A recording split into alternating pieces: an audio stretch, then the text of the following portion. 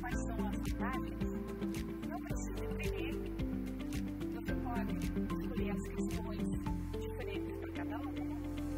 A correção é automática. Vamos ver o passo a passo da aprendizagem? Logado na plataforma, selecione a turma e seu painel do professor. Em Recomendações, escolha a aula e recomende.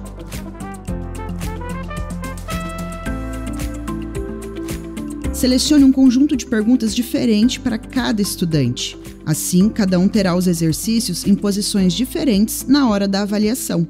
E você, professor, pode definir a data e a hora final, para que coincida com a duração de sua aula.